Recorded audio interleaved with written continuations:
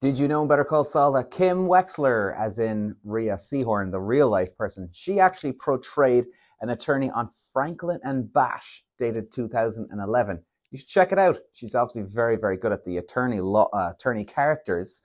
Which one is better, though? That'll be interesting for you to ask yourself.